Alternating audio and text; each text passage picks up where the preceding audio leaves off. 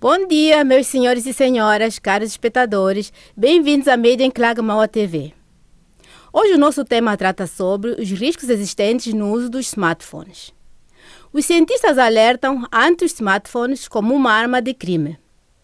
Os especialistas em segurança da empresa Yacht Active veem os smartphones como uma arma potencial de assassinato. Em um dos testes, eles descobriram que os smartphones podem provocar a um estimulador cardíaco vários, várias centenas de volts de ondas de sobretensões. Seguramente que um paciente com um estimulador cardíaco não poderia sobreviver. O que hoje em dia somente podem fazer os especialistas, poderá daqui a poucos anos ser algo que qualquer pode fazer.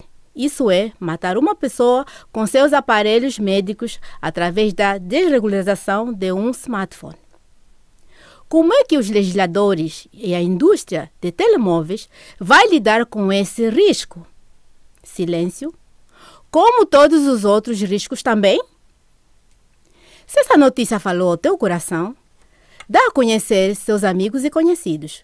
Continuação de um bom dia e até breve.